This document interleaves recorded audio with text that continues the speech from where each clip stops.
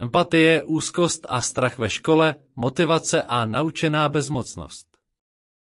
Pojem empatie, úzkost a strach. Empatie je schopnost cítit se do druhého člověka, jeho prožívání i pocitu a přizpůsobit jim vlastní jednání. Úzkost je nepříjemný emoční stav, který je doprovázen napětím, nejasným nebezpečím, předtuchou hrozby. Jedinec se cítí ohrožen, ale neví přesně čím. Čtyři typy úzkosti. Normální úzkost přiměřená stupni ohrožení.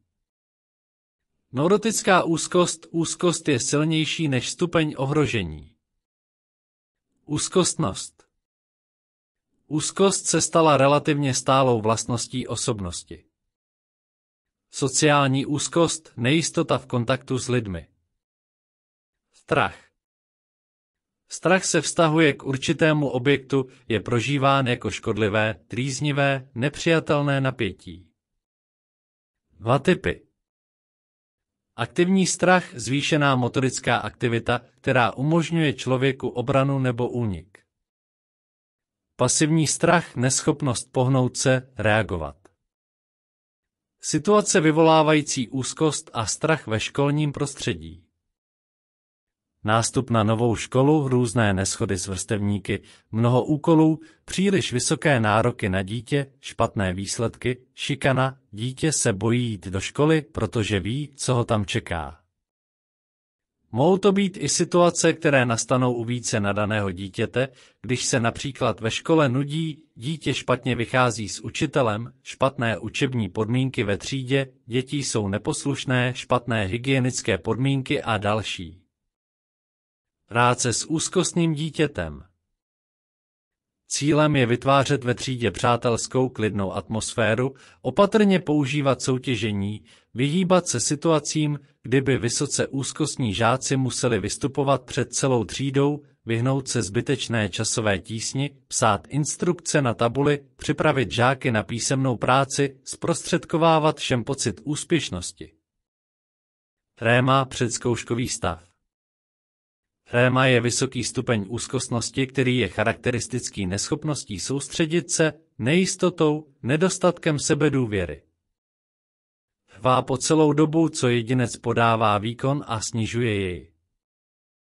Předzkouškový stav je stav tenze, napětí, která umožňuje mobilizovat úsilí nutné pro zvládnutí úkolu, jakmile jedinec začne na úkolu pracovat, napětí mizí.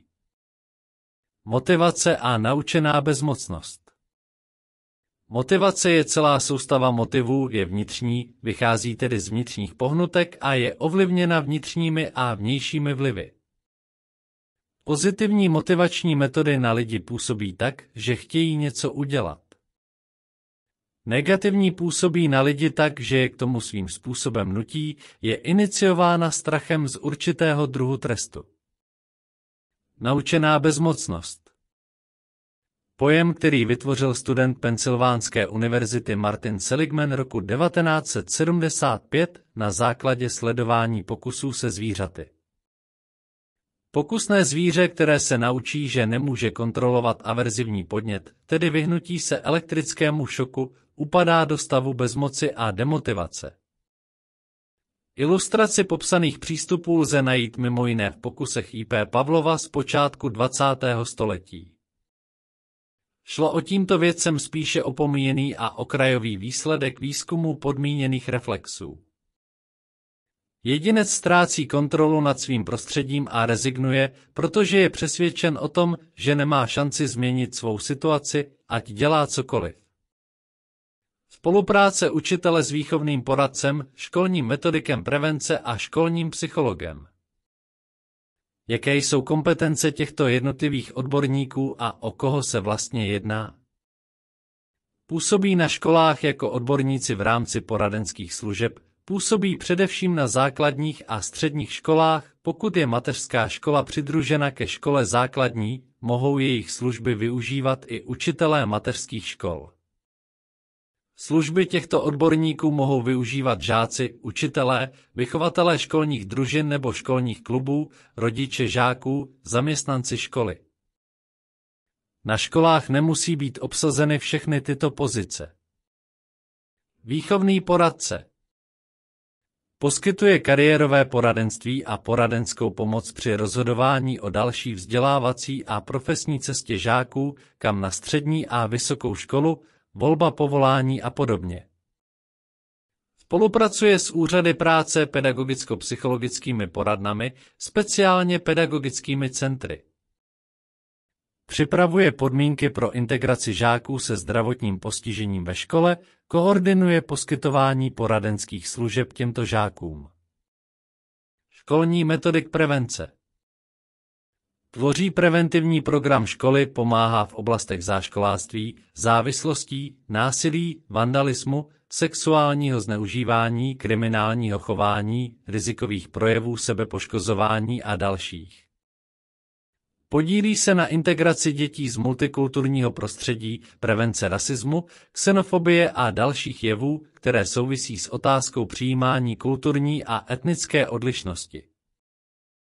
Navazují spolupráci s pracovníky různých organizací, které pomáhají v oblasti sociálně patologických jevů a kteří přijdou udělat do školy přednášku nebo besedu, jako jsou střediska výchovné péče, poradny, zdravotnická zařízení, policie České republiky, orgány sociální péče a další.